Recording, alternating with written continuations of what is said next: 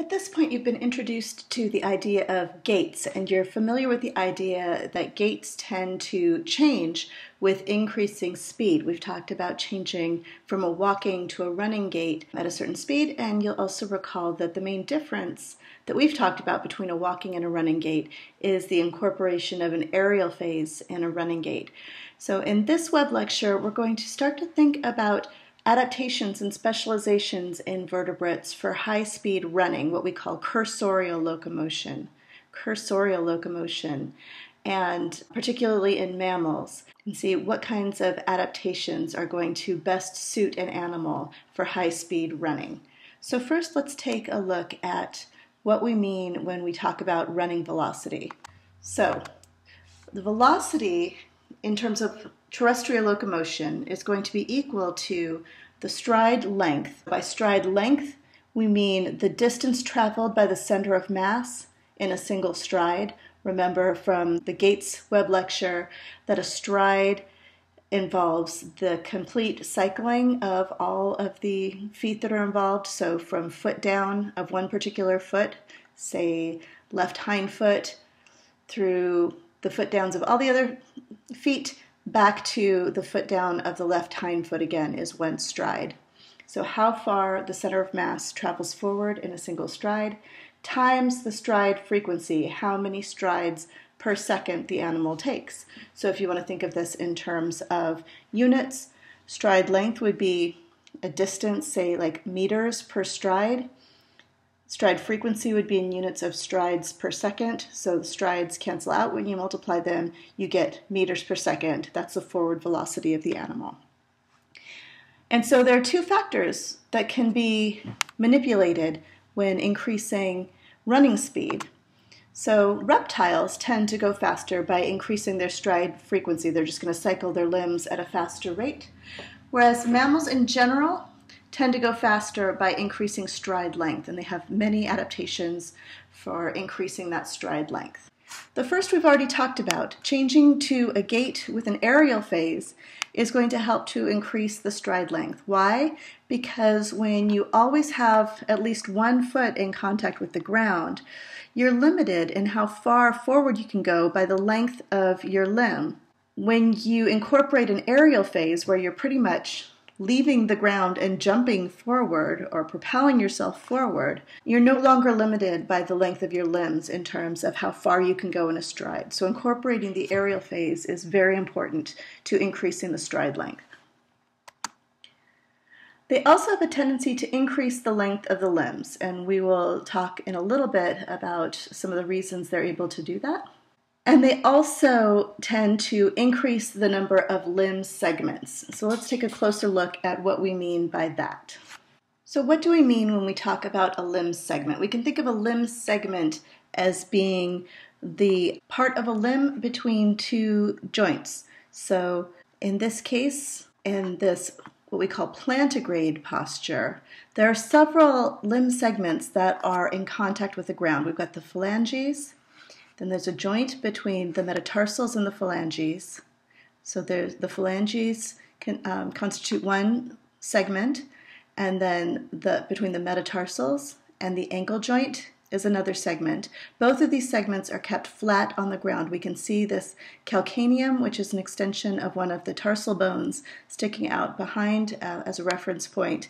And so plantigrade posture is what we humans use, bears use it, raccoons, uh, several different kinds of animals that are not specialized for high speed locomotion use this plantigrade posture with just two limb segments incorporated into what we'd call the functional leg. So, this is what we'd call the functional foot, the part in contact with the ground, and then the part above that that's not in contact with the ground, we'll call that the functional leg. If we look at another posture, this one is known as digitigrade. This is the posture used by cats and dogs and many other um, cursorial species we see one of these segments incorporated into the functional leg. The metatarsals are up off the ground and become part of the functional leg. They become elongated and increase the overall limb length. So, my daughter likes to think of this as sort of the, the beginning ballerina posture, where you're up on your tippy toes, but the phalanges are still in contact with the ground, forming the functional foot. In the unguligrade posture, this is the posture that is obviously taken by ungulates, hoofed uh, mammals such as horses and antelopes and all kinds of hoof stock now the phalanges are also incorporated into this functional leg, and it's just this highly modified um, claw or fingernail, the hoof, that is the functional foot in contact with the ground. And so my daughter likes to call this the professional ballerina on point position. Um, so we've got kind of toddler ballerina with the whole foot on the ground, beginner ballerina up on tippy toes, and then finally the professional ballerina on point extending that limb again more by incorporating yet another segment into the functional leg. So we can say for high speed, more limb segments are incorporated into the functional leg and fewer into the functional foot to increase that overall leg length. And of course, increasing the leg length is also going to increase the stride length. But it turns out that Yet another limb segment is added just by this change in posture that we've talked about, that we see in synapsids in the mammals as compared to um, the more basal uh, amniote condition of this sprawled limb posture. So remember, we said that the legs are brought down more underneath the body and are going to support the weight more directly straight above so that glenoid fossa the articulation between the humerus and the scapula is going to be pointing downward rather than outward, and the legs are going to swing in a parasagittal plane, straight forward and back. And so, this change in the orientation of the limb movements means that these legs are swinging completely in the direction of travel. All of the movement of the limbs is going to be straightforward when it's walking. There's not going to be these sort of lateral excursions that are going to reduce the distance that limb travels going forward the way you would see in a sprawled posture. So the limbs swinging in the direction of travel also increases that stride length. We also discovered when we discussed this in class is that this change in posture tends to load these bones of the limb in compression rather than bending. And remember that bone is the strongest in compression, so it's going to be able to withstand more compression force per unit of cross sectional area than it would be able to withstand a bending force. So, placing these bones in loading means that these bones can become a lot longer and a lot more slender and still have enough strength to withstand those compression loads. What we also saw associated with this change in posture is a reduction in those ventral skeletal elements, the loss of the coracoid that tended to free the scapula up from any kind of bony connections with the axial skeleton or with the bones on the other side of the body. So the, these scapula are now free to move and rotate. So just to remind you of this muscular sling that we see in mammals, Remember, the scapula is only attached to the axial skeleton through these muscular connections. So, because this is soft, stretchy muscle tissue, the scapula can move and rotate, and we see this um, if we look at these drawings based on x rays of a possum while it's walking. You can see that this scapula go, undergoes a pretty large excursion through a stride, looking at both a dorsal view and also a lateral view. You can see the scapula really rotates and actually becomes an additional limb segment, uh, increasing the functional length of that limb. So adding to this list we're building, we can see that we increase the number of limb segments by using a digitigrade or unguligrade posture, and then animals can also incorporate the scapula into that movement to further increase the functional length of the limbs to be able to increase that stride length. One final mechanism that animals use to increase their stride length is vertebral flexion. So, flexion and extension of the vertebral column. And this can be seen very easily, especially in big cats that have a very flexible back. So we see in this cheetah when it's in its gathered position, it sort of scrunches up the back and then it can flex and extend that vertebral column to be able to stretch and reach even further in that stride to be able to increase the distance that its body goes in that stride. We see this to a lesser extent, but still somewhat in more stiff backed mammals such as horses that can also use this vertebral flexion to a certain extent to be able to increase their stride length. So we've seen all of these ways that mammals increase their stride length to overcome the limitation of increasing your speed by increasing stride frequency. Stride frequency is basically limited by the speed with which muscles contract, the speed with which the muscle can actually pull a limb forward.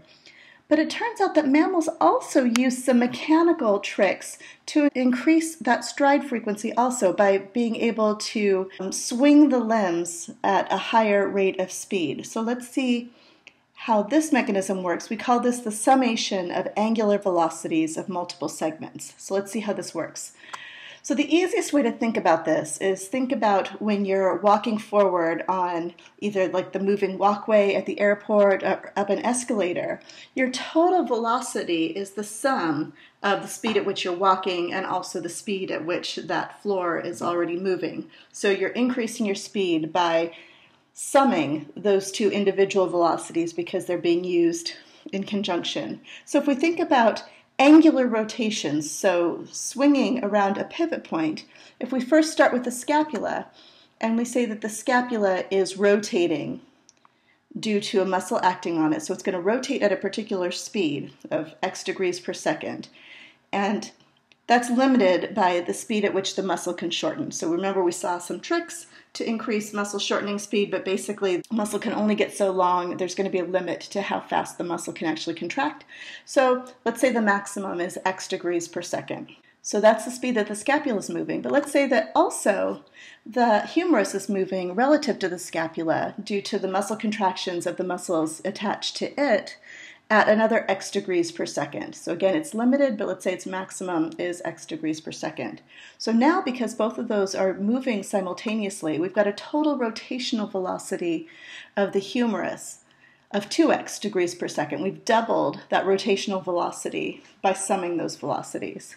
Let's say that the elbow joint is also rotating the antebrachium at x degrees per second. Now we've got a total rotational velocity of the antebrachium, the radius and ulna part of the limb. The antebrachium is now rotating at 3x degrees per second, and if we add rotations of the more distal segments, we can get a total rotational velocity multiplied by the number of limb segments just by rotating all of those limb segments simultaneously. So that's a mechanical trick that mammals use as a result of having uh, this large number of limb segments incorporated into the functional leg. There are also ways that mammals have of decreasing the total energetic cost of rotating those limbs, and this is by manipulating a factor called moment of inertia. This is a little bit of a complicated concept, but I'll break it down for you um, and simplify it the best I can. We saw that there was a specialized version of the concept of force that applied when you apply a, a force around a pivot point called a moment. So a moment is the force times the distance, and it's a special kind of force that we think about when it's applied at some distance from a pivot. We can also think of a special version of mass of a limb segment that depends on how far any unit of mass is away from a pivot point on something that's rotating. And this is the moment of inertia. So this replaces mass for rotational motion. So just as force is equal to mass times acceleration, we can think of torque, the rotational force, as I, which is the moment of inertia, times alpha, which is the angular acceleration, the acceleration at which it is rotating around that pivot.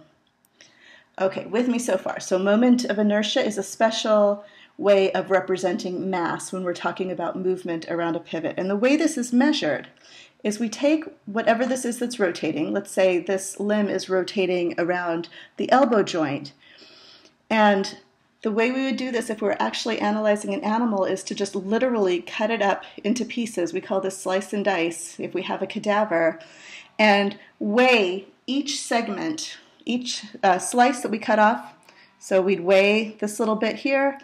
Um, ideally, you'd want to do it at even increments along the entire limb. This is just an example. So weigh this segment, weigh this segment, weigh all the segments, including bone and muscle and everything that's there and then the total of this moment of inertia is going to depend on the mass of the segment times the square of the distance of that segment to the center of rotation. So we take the elbow joint, and for this segment here, it would be the mass times the square of the center of the segment to the elbow joint plus the mass of this segment times the distance between uh, this uh, segment and the center of rotation squared.